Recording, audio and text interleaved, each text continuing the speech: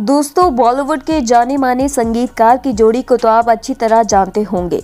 जी हाँ दोस्तों, हम बात कर रहे हैं बॉलीवुड के मशहूर संगीतकार की जोड़ी नदीम श्रवण की जोड़ी को। दोस्तों, हाल ही में बॉलीवुड से एक बड़ी खबर सामने आई है कि मशहूर संगीतकार श्रवण कुमार राठौड़ का हाल ही में निधन हो गया है। श्रवण कुमार राठौड़ के निधन पर उनके म्यूज़िक पार्टनर नदीम सैफी भी खूब फूट फूट कर रोए हैं। बातचीत के दौरान उन्होंने कहा कि, मैंने अपना छोटा भाई खो दिया। साथ ही नदीम ने श्रवण और अपने रिश्ते के बारे में कई और बातों का खुलासा किया है। लेकिन दोस्तों, क्या आप जानते हैं कि नदीम ने अपनी और श्रवण की किन किन बातों का खुलासा किया? तो दोस्तों, आज की हमारी इस वीडियो में हम आपको इसी के बारे में बताने वाले हैं। तो देर किस बात की है? शुरू करते हैं हमारी आज की इस वीडियो को।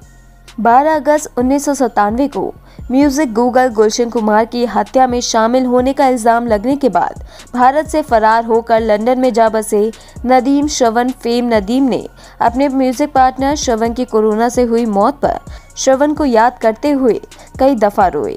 श्रवण के निधन की खबर जैसे ही नदीम तक पहुँची, तभी नदीम फूट फूट कर रोने लगे।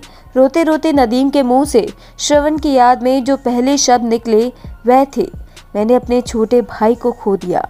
मैंने अपने छोटे भाई को खो दिया बार बार आँसू बहाते हुए। नदीम ने कई बार इस पंक्ति को दोहराया।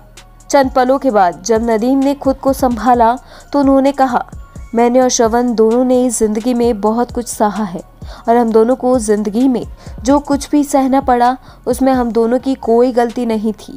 ये कहते हुए नदीम फिर अपने आंसुओं को काबू में नहीं कर पाए और रोने लगे। एक बार फिर रोते हुए नदीम ने कहा ज़िंदगी ने हम दोनों को बहुत परेशान किया, मगर हम दोनों अपने लिए कुछ भी नहीं कर पाए। नदीम ने दोनों की परेशानियों पर कुछ भी कहने से इनकार किया और उनसे जुड़ी और यादों को साझा किया। बेहद जज्बाती लग रहे नदीम ने एक बार फिर से खुद को संभालने की कोशिश की और कहा, वह हमेशा से मुझे एक म्यूज़िक पार्टनर मानने की बजाय हमेशा से एक बड़े भाई की तरह ट्रीट करता था और मेरे लिए उसके दिल में बहुत इज़्ज़त हुआ करती थी। लोग अक्सर मुझे बताया करते थे कि जब भी मैं श्रवण को फ़ोन किया करता था तो वो मेरे सम्मान में उठ खड़ा होता था। और उसके बाद ही मुझसे फ़ोन पर बात किया करता था। उसके मन में मेरे लिए इस कदर इज़्ज़त हुआ करती थी, जिसे लफ्ज़ों में बयां करना मेरे लिए बहुत मुश्किल साबित हो रहा है।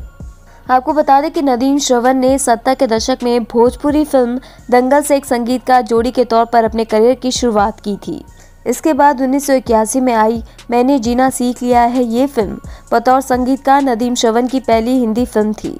साथ ही जब नदीम से ये पूछा गया कि श्रवण की कौन सी बात उन्हें सबसे ज़्यादा याद आएगी तो नदीम ने बताया कि ऐसी कोई बात श्रवण की नहीं है जो मैं कभी भूल पाऊँगा।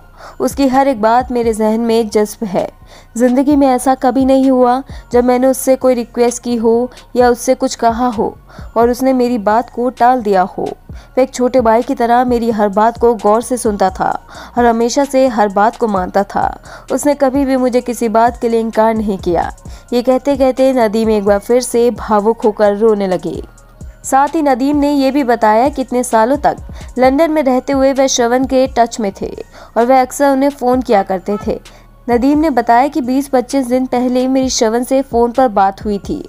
उस वक्त हमने ढेर सारी बातें की थी। हमारे बीच जल्द ही अमेरिका में कंसर्ट करने को लेकर तमाम बातें हुई थी। इस पर लंबी चली बातचीत के दौरान हम दोनों ने फैसला किया था कि कोविड का असर कम होते ही और माहौल के सामान्य होने पर हम दोनों कॉन्सर्ट को लेकर तमाम बातें फाइनल करेंगे।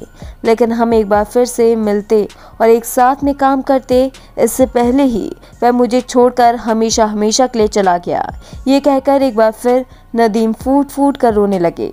तो दोस्तों, आपको नदीम और श्रवण की जोड़ी कैसी लगती थी, हमें कमेंट बॉक्स में कमेंट करके ज़रूर बताएँ। साथ ही अगर आपको हमारी वीडियो पसंद आई हो तो वीडियो को लाइक करना ना भूलें। अगर अभी तक आपने हमारे चैनल को सब्सक्राइब नहीं किया है तो जल्दी से हमारे चैनल को सब्सक्राइब कर लें, ताकि ऐसी ही बॉलीवुड से जुड़ी लेटेस्ट अपडेट हम आपके लिए लाते रहें।